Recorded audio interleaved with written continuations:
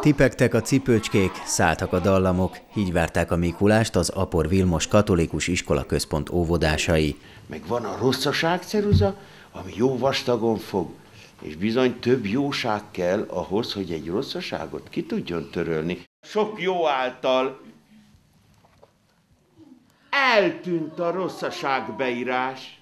A télapó, miután az alsó tagozatosokat meglátogatta, az óvodába is elment, hogy a legkisebbeket is megjutalmazza.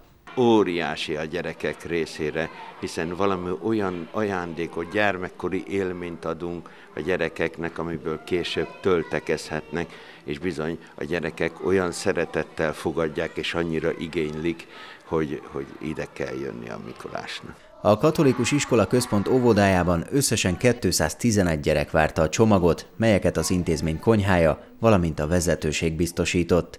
A csomagokat egységesen állították össze, de azokra az óvodásokra is gondoltak, akik ételallergiával küzdenek nagyon odafigyelünk arra is, hogy azok a kisgyerekek is örülhessenek és elfogyaszthassák az ajándékot, akik nem ehetnek teljes csokoládét vagy tojást tartalmazó ételeket, nekik egy kis külön meglepetést tettünk bele, így a szójaérzékeny kisgyermek is, a tojásérzékeny és a tejérzékeny gyermek is ajándékkal térhet haza. Közben az óvoda már a jövő hétre is készül, hiszen december 13-án harmadik alkalommal adventi műsorral várják a szülőket.